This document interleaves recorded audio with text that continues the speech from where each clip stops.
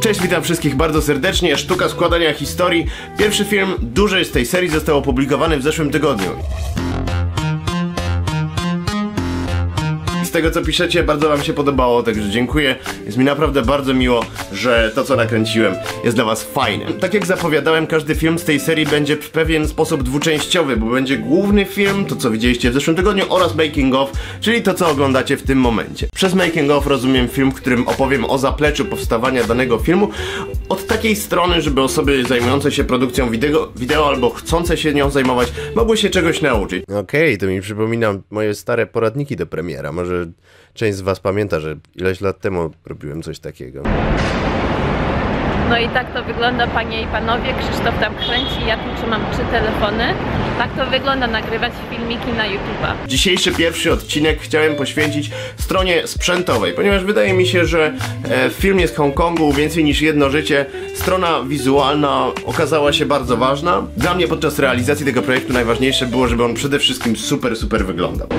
To nie jest ten budynek, o którym tam chodziło, ale jest bardzo podobny. Chyba nie? Myślę, że może ten, bo kolory podobne. I stąd rodzi się pierwsze wielkie pytanie, zawsze pojawiające się w komentarzach na YouTubie, czym to było kręcone. Duża część widzów, którzy zakładam interesują się tematem, myślała, że było to kręcone czymś takim, czyli e, Sony A7S. Tymczasem nie. Rozumiem dlaczego dużo ludzi mogło tak pomyśleć, bo tam było dużo ujęć w nocy, które wyglądały dosyć ładnie. Ten aparat natomiast jest znany z tego, że jest bardzo wydajny w nocy. W słabym świetle. Natomiast więcej niż jedno życie zostało nakręcone tym samym co ten making of.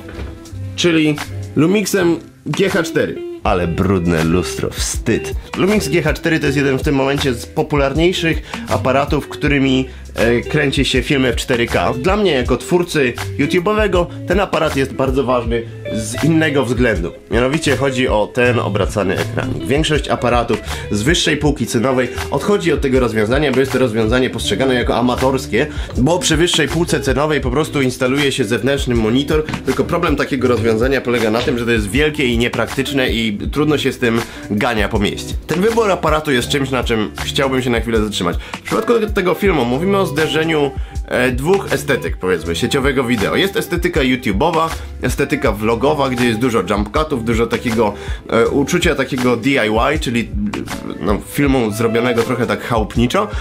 I Krzysztof sobie kręci jak, jak, jak siedzi sobie. I drugiej strony mamy Vimeo, czyli stronę, platformę do wideo, które jest znane z tego, że tam są filmy artystyczne, e, z bardzo dobrą warstwą wizualną, kompozycją. Moja estetyka, czy to, co chciałem tutaj zrobić i co chcę robić w ramach tej serii e, sztuki składania historii, to jest coś pomiędzy jednym a drugim. Więc jeśli mówimy o takich rozwiązaniach jak Sony A7S, Canon 5D czy kamerki Blackmagic, to są wszystko świetne sprzęty, oferujące bardzo dobrą jakość wideo, natomiast żeby dobrze, sprawnie nimi pracować nad filmem, trzeba je rozbudować przez różne akcesoria, jak na przykład zewnętrzny monitor. Nagrałem takie coś. A brakuje twojej twarzy trochę. Film natomiast został zmontowany i to jest tutaj też bardzo kluczowe na laptopie, na laptopie firmy Acer z procesorem Intel Core i7 szóstej generacji. Przez cały ten film akcentuję przenośność używanego przeze mnie sprzętu, więc użycie laptopa jest jak najbardziej na miejscu. Jeśli wybieracie komputer, którego chcecie używać do obróbki wideo, to pamiętajcie, żeby przede wszystkim zwrócić uwagę na procesor, ma być bardzo szybki, jak najszybszy, na dużą ilość RAMu oraz na jak najszybszy dysk. W zasadzie odradzałbym używanie dysków HDD, znaczy trzeba mieć SSD, żeby komfortowo pracować nad obróbką wideo w tym momencie. Z procesorami jest przy tym oczywiście tak, że im więcej rdzeni ma procesor, tym lepiej dla Was. Tutaj w tym komputerze mam i7 6700 HQ. Z procesorami Intela już konkretnie jest tak, że cyferka po i im wyższa, tym szybszy jest procesor. i7 są dobre do profesjonalnych zastosowań. Jak nie macie aż takich potrzeb, to i5 też da radę. W moich profesjonalnych zastosowaniach komputera ważny jest fakt, że odpala Wiedźmina. Witam was w 50. odcinku mojego Let's Playa z Wiedźmina 3. Oczywiście laptop daje nam mobilność, ale jest to w zamian za pewne ograniczenia wy- wynikające z czasu życia baterii, e, rozmiarów sprzętu. Bardziej bezkompromisową wydajność daje komputer stacjonarny, ale to już sami sobie musicie zdecydować, e, na czym chcecie montować wideo. Albo grać w Wiedźmina. Ja bardzo sobie w swojej pracy cenię przenośność i lekkość wszystkiego, co robię. Dla przykładu, ujęcia takie z zaplecza, które tutaj widzicie w tym filmie właśnie, były kręcone tym. To jest e, Canon G, e, G7, e, G7X. Bardzo standardowy aparat YouTube'owy. Wygląda niewinnie, ale można nim działać cuda. Większość vlogów The Waga Pies była kręcona właśnie tym aparatem. Wszystko naprawdę bardzo lekkie, mobilne rozwiązania, bardziej osadzone w estetyce YouTube'owej niż w estetyce Vimeo. Vimeo. Vi- Vimeo. Najważniejszą rzecz, którą nie można zapomnieć, jak się pracuje tak, jak Krzysztof pracuje, jest, żeby zjeść obiad.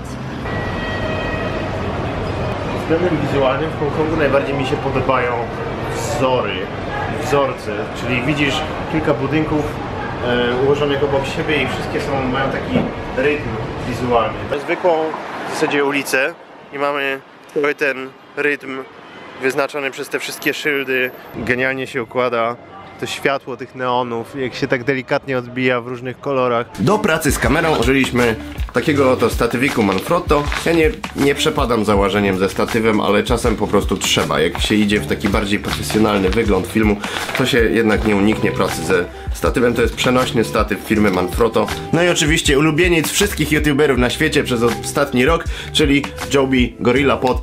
Bardzo standardowe i bardzo polecane Świetne urządzenie, które psuje się po dwóch miesiącach, ale potem trzeba po prostu kupić sobie nowe. To nie jest aż takie drogie, żeby nad tym płakać. Można go zwykle używać w miejscach, gdzie nie pozwalają używać statywu. Tutaj na przykład w, tak, w takich turystycznych miejscówkach zwykle wolne nie wpuszczają ludzi ze statywem.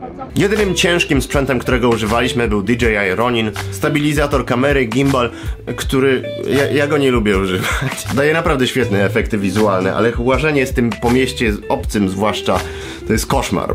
Więc tego używaliśmy tylko przez jeden dzień, starając się nakręcić dostatecznie dużo, e, żeby, no żeby jakoś tak to poro- porozsiewać po całym filmie.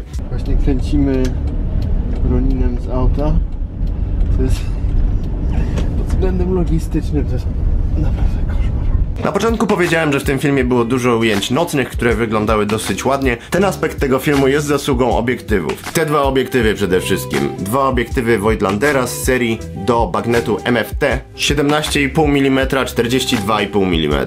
Pamiętajcie, że jak mówimy o ogniskowej w przypadku aparatu takiego jak GH4, to mnożymy ją przez 2, żeby dostać efektywną ogniskową. Czyli 17,5 mm to jest 35 mm, czyli bardzo standardowa długość obiektywu. To są naprawdę szkła z trochę wyższej półki cenowej, całkowicie analogowe, to znaczy nie ma tutaj w ogóle elektroniki, nawet e, przesłona jest analogowa, więc zmieniamy ją sobie pierścieniem na obiektywie. A przepiękna sprawa kręcenie tym w nocy. Im mniejsza jest wartość przesłony, tym jaśniejszy jest obiektyw. Wszystkie obiektywy z tej serii od Voigtlandera mają jasność 0,95, więc są bardzo, bardzo, bardzo jasne i dają bardzo wąską głębię ostrości, bo to jest inna charakterystyka przysłony głębia ostrości.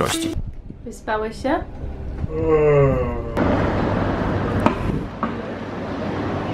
Jak dworzec Warszawa Zachodnia. Jeszcze jeden obiektyw, ten, którym kręcę tego making offa, to jest obiektyw Pana- Panasonic 714 mm. Ten niestety ma przysłonę f4, więc jest dosyć ciemny, więc nie za bardzo nadaje się do kręcenia w nocy. Parę razy jeszcze użyłem czegoś takiego, to jest kitowy obiektyw. E, Kitowy to się mówi, że to jest kupiony razem z aparatem, a nie, że jest do kitu, chociaż trochę jest, zazwyczaj są. Ale nie mam w tym momencie nic dłuższego na bagnet MFT, więc jeśli chodzi o dźwięk, dźwięk nie był w tym filmie aż taki kluczowy, natomiast użyty został Rode Video Mic Pro. Do nagrania głosu w studio użyłem tego mikrofonu Blue Yeti z takim. Mniej więcej powiedzieliśmy o sprzęcie, to jeszcze zajrzyjmy, co się dzieje na komputerze. W tym odcinku nie będę się zajmować montażem ani obróbką, więc tylko chcę Wam po prostu pokazać, jak to mniej więcej wszystko wygląda.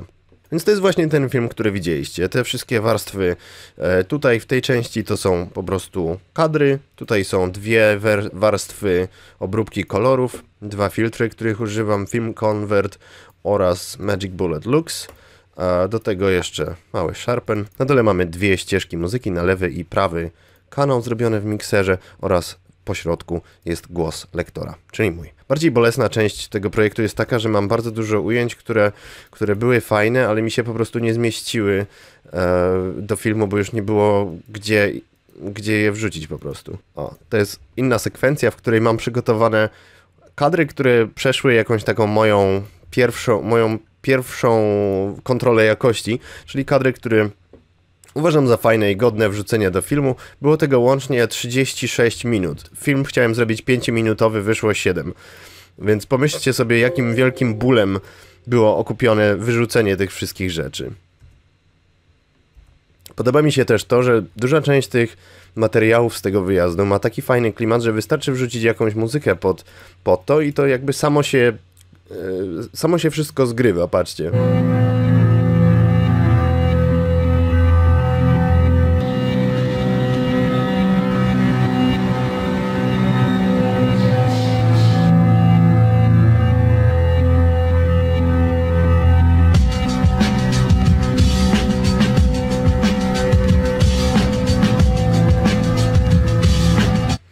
To nie było w ogóle montowane pod tę muzykę. Po prostu wrzuciłem jakiś kawałek muzyczny pod e, fragmenty kadrów, które miałem, żeby tak sobie wyczuć klimat. Muzyka jest dla mnie zawsze bardzo ważna. A wybór muzyki to jest coś, cze- czego muszę dokonać przed w zasadzie montażem, bo e, muzyka nadaje cały ton wideo. Nie byłbym w stanie nagrać e, głosu lektora do tego filmu, gdybym nie wiedział, jaka będzie muzyka, bo po prostu nie miałbym tej takiej wyobraźni.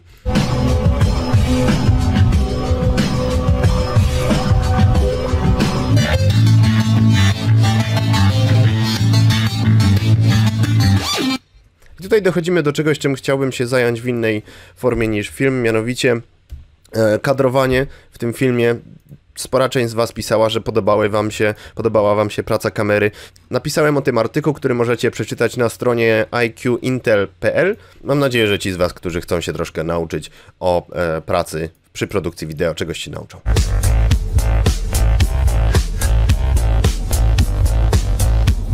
To tyle na dzisiaj, dziękuję Wam bardzo za uwagę. Wejdźcie jeszcze na stronę iqintel.pl, gdzie napisałem i przygotowałem dla Was artykuł, w którym e, powiedziałem parę słów o kadrach, które można znaleźć w filmie. Trochę wyłapałem takich rzeczy, które stosuję, które wy wynikają z teorii, ale trzeba się jakoś na nie uwrażliwić, wy, wyćwiczyć sobie oko, żeby zauważać pewne rzeczy i wtedy lepiej na przykład móc stwierdzić, że ten kadr mi się podoba, dlatego że jest skonstruowany właśnie tak, a nie inaczej. Trzymajcie się, dajcie znać, co was interesuje w tego typu making-offach i do zobaczenia w następnym filmie Sztuka składania historii. Na razie.